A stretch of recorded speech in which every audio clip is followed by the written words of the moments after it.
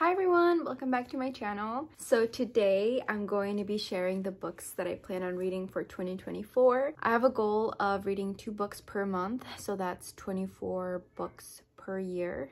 That's my cat in case you heard him. So let's see if we can do it. I would love and I think I could if I didn't have a full-time job, but unfortunately I do. I mean, fortunately and unfortunately, um, but it is what it is. So, I mean, I like my job. It's just, it's stressful sometimes. But anyway, getting off track here. Yeah, so grab a cup of coffee. I have mine right here and let's get into it. I'm gonna start off with the books that I'm currently reading. The first one is called A Little Life by Hanya.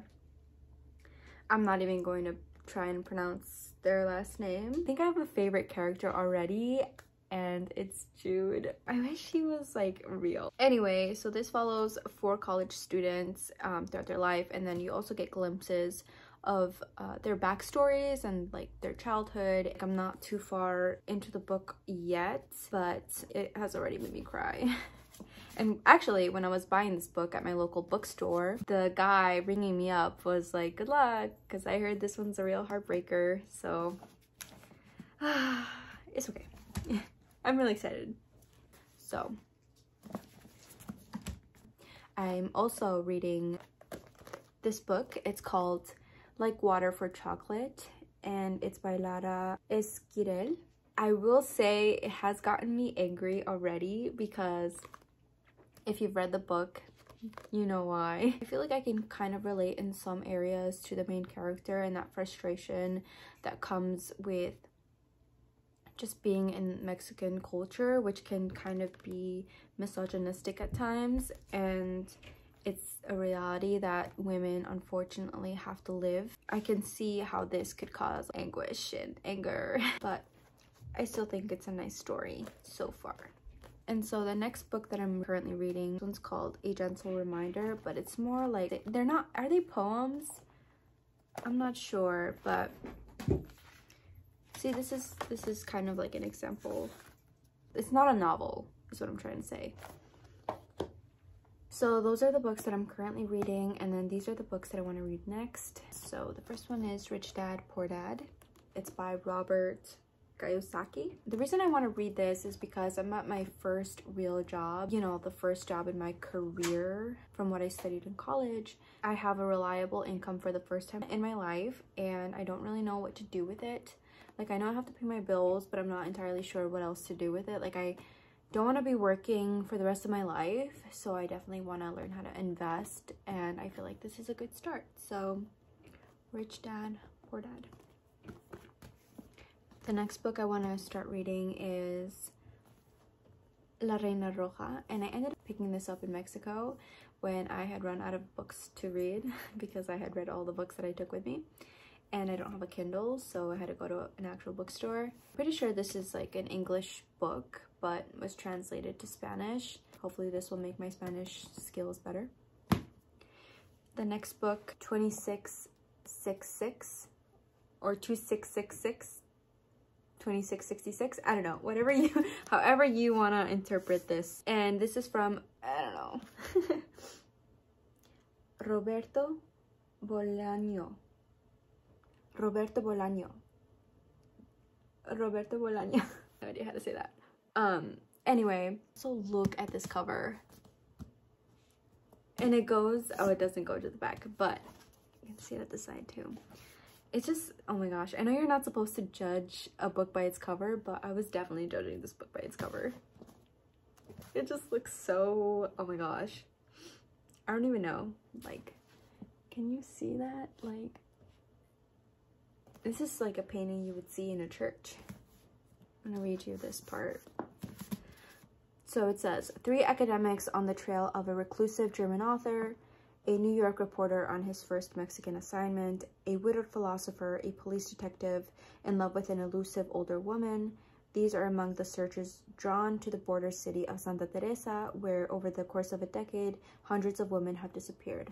So it does seem like an interesting read and I'm really excited, although it is a thick boy, so. So the next book is Don Quixote. This one is from Miguel de Cervantes. I honestly picked this up because if you watch the show You, Joe Goldberg recommends this to somebody, so I thought I would pick it up. the next book is also a recommendation from Joe Goldberg, and it's called The Count of Monte Cristo. So this one also seems interesting to me because it's about revenge. The main character is falsely accused and then imprisoned. So he spends long hours imagining how to punish the people who falsely accused him in jail. When he's in jail, he's you know, kind of going through it. Um, should he ever escape? And if revenge is a dish best served cold, Edmond Dantes is learning to be a very patient and ruthless chef. This one is called Getting His Game Back by Gia de Cadenet. Khalil Sarda went through a rough patch last year, but now he's nearly back to his old self. All he has to do is keep his stuff in the past. Real men don't have depression and go to therapy, or at least they don't admit it. He's ready to focus on his growing chain of barbershops, take care of his beloved Detroit community, and get back to being the ladies' man his family and friends tease him for being. It all looks easy until Vanessa throws him completely off his game. Vanessa Noble is too busy building a multi-million dollar tech career as a black woman before age 30 to be distracted by a relationship. Not to mention mentioned she's been burned before, still dealing with the lingering hurt of a past breakup. Besides, as her friends often remind her, she'll never find a man who checks all the boxes on her famous list. Yet when she desperately needs a shape up and happens upon one of Khalil's barbershops, The Fade, he makes her reconsider everything. Khalil is charming, intelligent, and sexy and definitely seems like he treated a woman right, but he's not black. Vanessa may be willing to take a chance on Khalil, but a part of him is frustratingly closed off, just out of her reach. Will old patterns emerge to keep them apart, or have they both finally found a connection worth throwing away the playbook for? So, it just sounds so like good. I don't know. I'm so excited. Summer Girl by Elle Kennedy. Yeah, this is more like of a beach read. So college student Casey hasn't spent an entire summer in Avalon Bay in years, not since her parents divorced and her mother spitefully whisked her away to Boston. Now that her grandmother is selling the Boardwalk Hotel that's been in their family for five decades, oh, it's Cassie, sorry. Cassie returns to the quaint beach town to spend time with family, ring in her 21st birthday and maybe find her summer fling. On her first night in town, she finds a perfect candidate, Tate. He's a fun-loving golden boy. Tate's sailing instructor and lovable player is no stranger to flings. In fact, he's always been down for a good time. But the moment he meets Cassie, he knows she's not the girl who you play games with. Cassie is gorgeous, hilarious, and frankly the coolest person he's ever met. The last thing he wants to do is risk breaking her heart, and so he reluctantly puts her in the friend zone. Oh my god, guys not the friend zone. Only to realize he's made a huge mistake. Soon his attraction to Cassie becomes impossible to ignore. As Cassie and Tate walk in the line between friends and lovers, they're about to discover that their situation is the least complicated part of this equation because Avalon Bay is full of secrets and their relationship might not survive when those secrets come to light. So it sounds scrumptious. Sounds so good. The next book is The Seven Husbands of Evelyn Hugo, and this is from Taylor Jenkins Reid. A reclusive Hollywood icon, Evelyn Hugo is finally ready to tell the truth about her glamorous and scandalous life, but when she chooses unknown magazine reporter Monique Grant to write her story, no one is more astounded than Monique herself. Determined to use this opportunity to jumpstart her career, Monique listens in fascination from making her way to Los Angeles in the 1950s to leaving show business in the 80s, and of course, to seven husbands along the way, Evelyn unspools a tale of ruthless ambition, unexpected friendship, and a great forbidden love. But as Evelyn's story nears its conclusion, it becomes clear that her life intersects with Monique's own in tragic and irreversible ways. Written with Reid's signature talent for creating complex, likable characters, this is a mesmerizing journey through the splendor of old Hollywood into the sober sobering realities of the present day as two women struggle with what it means and what it costs to face the truth. So, Seven Husbands, crazy. And the next book is Book Lovers by Emily Henry. Nora Stephens' life is books. She's read them all and she's not that type of heroine. Not the plucky one, not the laid-back dream girl, and especially not the sweetheart. In fact, the only people Nora is a heroine for are her clients, for whom she lands enormous deals as a cutthroat literary agent and her beloved little sister Libby. Which is why she agrees to go to Sunshine Falls, North Carolina for the month of August when Libby begs her for a sister's trip away with visions of a small town transformation for Nora, who she's convinced needs to become the heroine in her own story, but instead of picnics in meadows or run-ins with a handsome country doctor or bulging four-armed bartender, Nora keeps bumping into Charlie Lastra, a bookish, brooding editor from back in the city. It would be a meet cute if not for the fact that they've already met many times and it's never been cute. If Nora knows she's not an ideal heroine, Charlie knows he's nobody's hero, but as they are thrown together again and again in a series of coincidences no editor worth their salt would allow, what they discover might just unravel the carefully crafted stories they've written about themselves. So, it sounds cute, it sounds like cozy, so excited for that. Okay, now the next set of books. This is called Tokyo Station. Let me read the back. A surreal, moving story of a homeless ghost who haunts one of Tokyo's busiest train stations. It sounds really interesting. It's more spooky. The next book that I want to read is The Song of Achilles. This is from Madeline Miller. And I read her novel, Circe.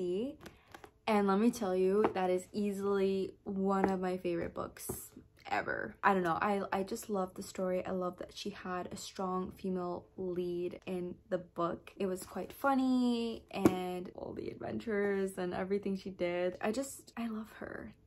I just love her.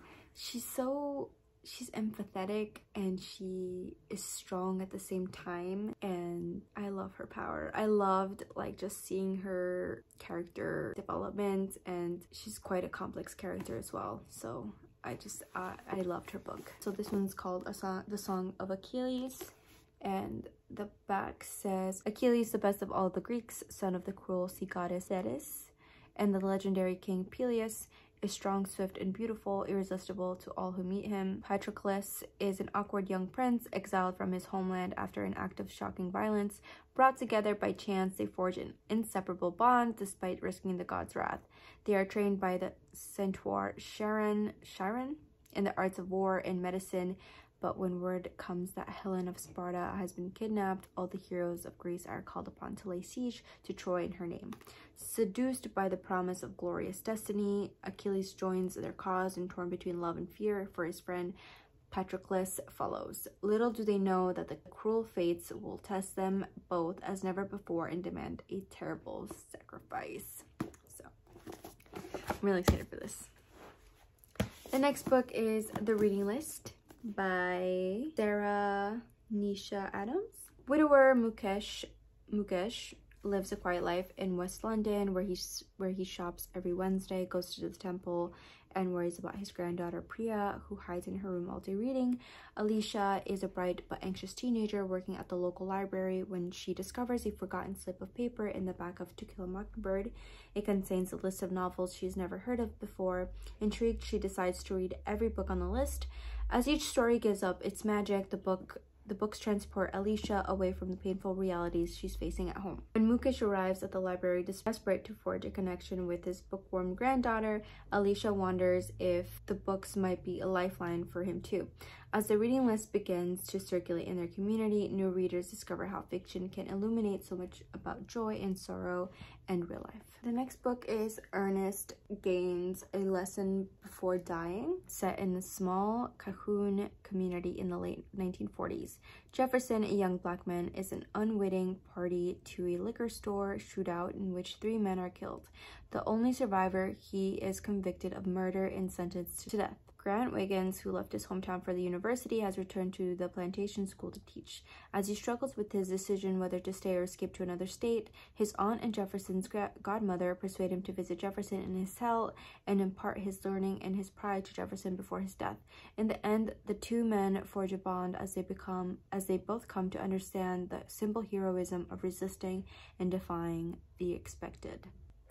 So the next book is Bliss Montage. This is about love and loneliness, connection and possession, friendship, motherhood, the idea of home. In Bliss Montage, Ling Ma brings us eight wildly different tales that take on our everyday fears and fantasies. A woman lives in a mansion with her husband and all her ex-boyfriends. A toxic friendship comes to its breaking point with the resurgence of a drug that makes you invisible. An ancient folk ritual might heal you of anything if you bury yourself alive. And an office hours winner of an O. Henry Prize, a film professor discovers a portal inside a closet. These and other scenarios investigate the ways that the out outlandish and the ordinary are shockingly, deceptively, heartbreakingly alike. So, the next book is called Everything I Know About Love, and it has parties, dates, friends, jobs, life scribbled out. And this one's from Dolly Alderton, and it's a memoir. When it comes to the trials and triumphs of becoming an adult, Alderton has seen and experienced it all. Everything I know about love is about bad dates, good friends, and above all, realizing that you are enough. Wildly funny, occasionally heartbreaking, it's about growing up, growing older, and learning to navigate friendships, jobs, loss, and romance along the way. Glittering with wit and insight, heart, and humor, her memoir weaves together personal stories, satirical observations, and a series of lists, recipes, and other vignettes that will strike a chord of recognition with women of every age. Which is early adulthood in all its terrifying and hopeful uncertainty. Got these two books for Christmas and it's about kind of like self-discovery in your 20s. I feel like if you're in your early 20s, you should definitely be reading these two books, or at least that's what the person who gifted me these told me. Um, so yeah. yeah. I'm glad my mom died by Jennette McCurdy. And I think most people know who Jennette McCurdy is. She was Sam Puckett in the show iCarly. So her memoir, she's written about like her days in iCarly, her relationship with her mom. So I'm interested in just reading about her life and kind of see what she's written about because we don't really know the people behind the screen. I mean, not really. And even in interviews and all that stuff, like you don't get to know like what's happening in their behind the scenes life in their actual real life. And so I think the title is also kind of a shocker. The next book is Woman Hollering Creek and Other Stories by Sandra Cisneros. It's a story collection of breathtaking range and authority whose characters give voice to the vibrant and varied life on both sides of the Mexican border, from a young girl revealing secrets only an 11-year-old can know to a witch woman circling above the village on a pre-dawn flight. The women in these stories offer tales of pure discovery, filled with moments of infinite and intimate wisdom. So this is called The Good Immigrant by edited by Nikesh Shukla and Chimene Suleyman. Apologies if I just butchered their names. So, as America is consumed by tensions over immigration and the questions of which bodies are welcome, we find ourselves at a crossroads in grave danger of forgetting who we are as a nation. To remind us, this book hands the microphone to an astonishing array of writers who are also first and second generation immigrants and who share powerful personal stories of living between cultures and languages while struggling to figure out where they belong. It's something that I feel like I could really learn from, so yeah. The next book is called Invisible Child, Poverty, Survival, and Hope in an American City by Andrea Elliott. And won the Pulitzer Prize, which is probably the highest like book award that you could get.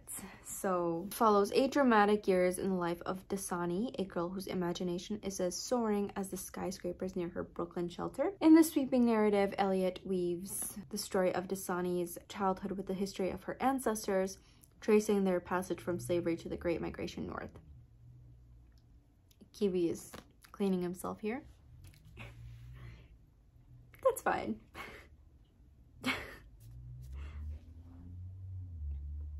As Dasani comes of age, New York City's homeless crisis has exploded, deepening the chasm between rich and poor. She must guide her siblings through a world riddled by hunger, violence, racism, drug addiction, and the threat of foster care. Out on the street, Dasani becomes a fierce fighter to protect those who I love. When she finally escapes city life to enroll in a boarding school, she faces an impossible question. What if leaving poverty means abandoning your family and yourself? The Age of Surveillance Capitalism is the next book I want to read. And this one's from Shoshana Zuboff. It's more about like technology, how in this digital age we are, there's no real privacy anymore. So, The New Jim Crow by Michelle Alexander. I think her main argument, Alexander's main argument in this book is that our criminal justice system is a new slavery. It's, and I quote, we have not ended racial caste in America. We have merely redesigned it. I think this makes sense because a lot of people are people of color and especially black people are incarcerated in higher rates than other types of people. So the next book I want to read is called White Fragility and this one is by Robin DiAngelo and this is basically about how why it's so hard for white people to talk about racism. In this groundbreaking and timely book, anti-racist educator Robin DiAngelo deftly illuminates the phenomenon of white fragility, referring to the defensive moves that white people make when challenged racially. White fragility is characterized by emotions such as anger, fear, and guilt, and by behaviors including argumentation and silence. These behaviors in turn function to reinstate white racial equilibrium and prevent any meaningful cross-racial dialogue. In this in-depth examination, DiAngelo explores how white fragility develops, how it protects racial inequality, and what we can do to engage more constructively. Okay, those are all the books I hope to read this year. Hopefully you're inspired to read some. Let me know if you want to, of course, the books that you plan on reading this year. I'm linking my Goodreads account in the description box below if you want to be friends because I only have two friends. So if you want to be friends, please add me. so thank you so much for joining me. Hopefully this was fun for you. It was definitely fun for me. I kind of had forgotten some of the books and why I wanted to read them. I just knew that they were on my shelf and like I wanted to at some point get to them. But this just reminds me again and like makes me super excited to pick up the book and actually start reading. Anyway, thank you guys so much and I'll see you in the next video. Bye!